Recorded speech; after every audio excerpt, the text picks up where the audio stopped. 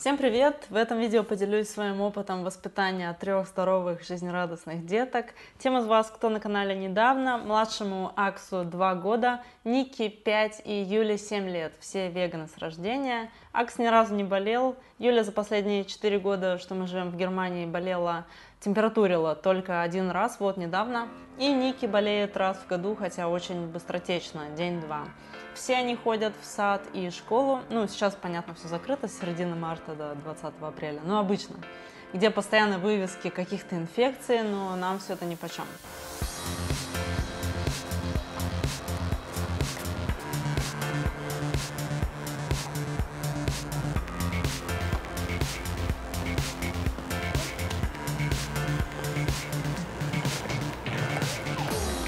Заранее скажу, что я не буду отвечать на вопросы о конкретно вашей ситуации, потому что я не врач, и мои видео это не медицинские советы, а просто опыт многодетной мамы. Поэтому я всегда ссылаюсь на книги или видео экспертов для дальнейшего самостоятельного изучения. И еще, пожалуйста, не принимайте к сердцу то, о чем я буду говорить. Я сама делала ошибки в воспитании своих детей, но мне кажется, самая грубая ошибка – это отдать ответственность за здоровье своих детей кому-то другому. Не в последнюю очередь потому, что этот кто-то другой ее изначально у нас никогда и не брал. В общем, помните, что я хочу здоровья всем деткам, это исходная точка этого видео, а если вам не зададут какие-то пункты, то не берите в голову. Также хочу поблагодарить всех, кто поддерживает меня на Патреоне и дать вам знать, что именно вы предоставляете мне свободу в выборе тем для видео. В моих последних трех видео YouTube подключил монетизацию, поэтому если вы думали стать моим патроном, но не доходили руки, то подключайте сейчас, я очень ценю вашу поддержку. Ники у меня и эту немецкую зиму проходила в летнем платье, колготках, шортиках и кроссовках. Когда меня спрашивают, закаляю ли я ее, я отвечаю, что никогда и не раскаляла. Она лучше меня знает, тепло ей или холодно, и, соответственно, одевается по собственным меркам. Это легче как мне, так и ей. Я всегда иду по пути наименьшей сопротивляемости и не собираюсь добавлять в свою жизнь никаких дополнительных действий вроде закалки. Но в нашем обществе принято сначала все усложнять, чтобы потом с этим разбираться. Сначала раскалять, укутывая ребенка вопреки его собственному восприятию погоды, чтобы потом закалять. Сначала приучать ребенка к соске, чтобы потом отучать. Сначала тратить деньги и время на искусственные смеси, чтобы потом пытаться восстановить иммунитет ребенка. Ведь грудное молоко по сути является органом. Оно как иммунная система ребенка, его защита от тех микробов, от которых нам говорят необходимо прививаться. Разумеется, я не говорю здесь про те несколько процентов женщин, которые технически не могут кормить грудью. Но давайте не будем путать несколько процентов с большинством, которое типа не может или не обладает обладает информацией о важности ГВ. В полномочия того, кто рожает, не входит решение дауншифтить систему ребенка. Дети на искусственном кормлении в пять раз чаще попадают в больницу в младенчестве, чем дети, которые находятся на полном ГВ. Чужеродный молочный белок в детской смеси может вызвать воспаление и повреждение защитной слизистой оболочки кишечника, способствуя колонизации патогенами. Использование детской смеси также связано с повышенным риском неинфекционных заболеваний, таких как аллергические заболевания и диабет первого-второго типов. Опять же, раннее воздействие чужеродной пищи считается фактором развития этих заболеваний. Кроме того, искусственное вскармливание связано с нарушением когнитивных функций. В молочных смесях не хватает многих ингредиентов, которые, как считается, участвуют в развитии мозга. И кормление смесью связано с повышенным почти в 4 раза риском смерти в сравнении с детьми на грудном вскармливании.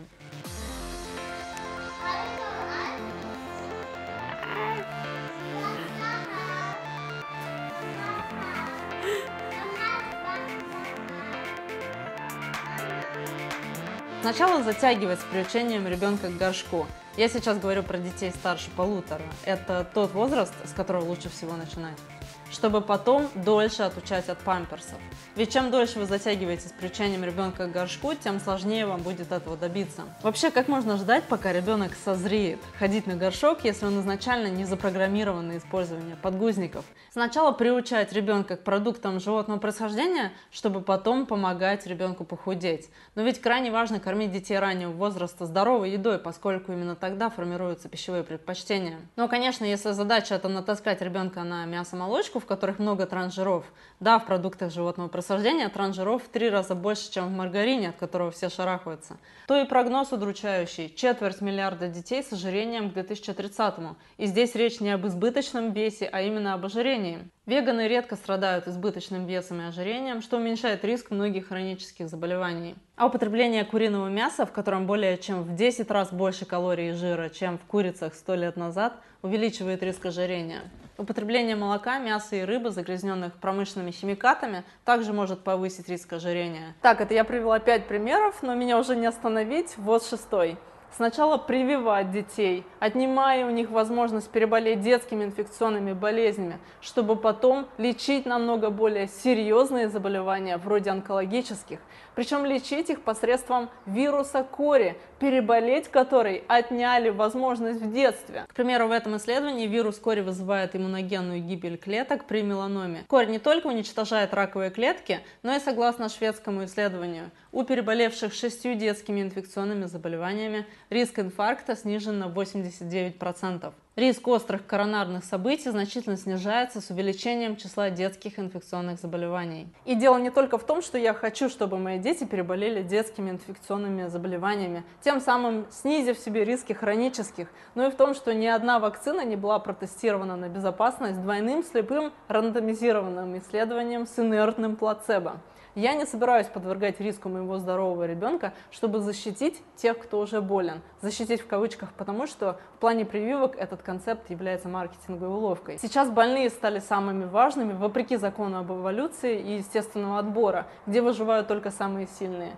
Конечно, мы должны защищать слабых, но давайте для них разрабатывать защиту, какие-то специфические методы лечения и карантина для больных. В общем, я изначально не раскаляла детей, не приучала их к соске, не натаскивала на мясо, мяса, не кормила искусственной смесью, не затягивала с приучением горшку, полтора года назад перестала усложнять им жизнь прививками и, лучше поздно, чем никогда, я перестала сбивать им температуру. Здесь есть свои исключения, поэтому я и прошу вас изучить эту тему самостоятельно. Например, в случае солнечного удара или как осложнение от прививки, ребенок может лишиться своей нормальной регуляции температуры, и тогда она может действительно подняться до опасного уровня. Но если сбивать температуру при обычной инфекции, то болезнь только затянется, ведь температура создает неблагоприятные условия для размножения патогенов. Все больше и больше рандомизированных контролируемых испытаний высокого уровня поддерживают подход невмешательства, кстати, шведское электронное здравоохранение рекомендует обращаться к врачу при температуре выше 41 градуса. Конечно, тут перечислены и другие условия, их всех подробно описывает доктор Мендельсон в своей книге «Как вырастить здорового ребенка вопреки врачам». И, кстати, он тоже говорит именно о 41 градусе. Простуда, грипп и любая другая инфекция не поднимут температуру тела ребенка выше 41 градуса. Но просто для сравнения, когда обращаться к врачу в России – 39,5. Разница в полтора градуса. В Германии тоже предлагают обратиться к врачу при 39 градусах. Так как у меня девчонки в Швеции родились, я уже привыкла к шведским принципам. Насчет жаропонижающих они пишут, температура – это один из способов защиты организма от инфекций. Поэтому не лечите жару ребенка, который в остальном здоров.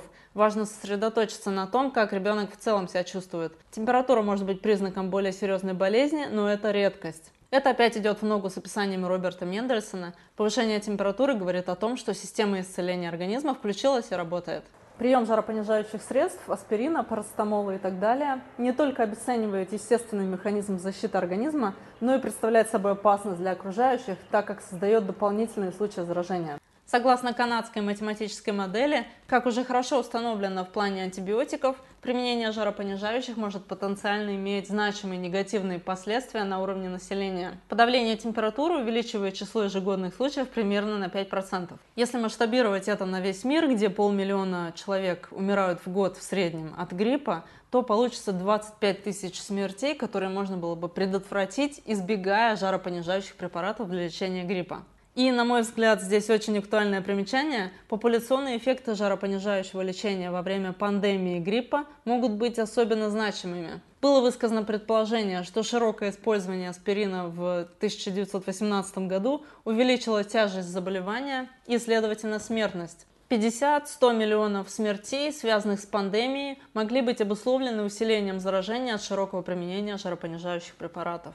Нас в Германии с марта законодательно принуждают к прививке от кори. Я еще обязательно сделаю отдельное видео на эту тему по вашим многочисленным запросам. Здесь просто скажу, что никаких прививок я делать не собираюсь. Если они позволяют себе такую фривольность в принуждении граждан под прикрытием здравоохранения, то почему не принудить к отказу от жаропонижающих направо и налево, особенно в рамках текущей ситуации? Почему не принудить к ГВ? Или они принуждают только к тому, что включает в себя маркетинг продуктов фармакомпаний, или, по крайней мере, не идет в разрез с этим бизнесом. У девчонок недавно была температура 40 в течение двух дней у Ники и четырех дней у Юли. Наверное, если бы поднялась выше, то я начала бы думать, к какому натуропату или другому интегративному доктору обратиться. Но если температура 40 или ниже, то я ничего предпринимать не буду. Мои правила в такой ситуации – ночью вместе спать, кожа к коже, без пижам, много пить воды, свежевыжатых соков, компотов, не заставлять есть, если ребенок не хочет. Девчонки неделю ничего не ели, только обильное питье.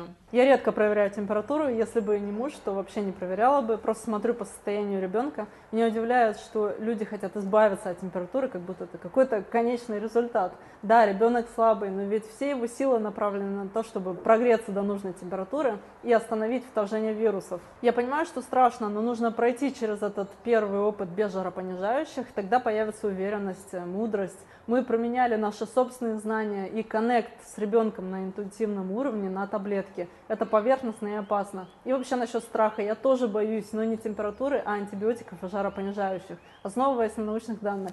Жаропонижающие снижают функцию легких и повышают риск развития астмы. Они токсичны для печени и почек и истощают запасы глутатиона, который защищает клетки от токсичных свободных радикалов. Да сама попытка сбить температуру, когда ребенок болен, это все равно, что застрелить вашу собаку, когда кто-то врывается в ваш дом. В общем, нам нужно заменить температурофобию, шницельфрению и лекарство манию, наоборот, на котлетофобию и температуроманию. Я жду, когда у моих детей появится температура и отбиваюсь от котлета молочки в садике и школе.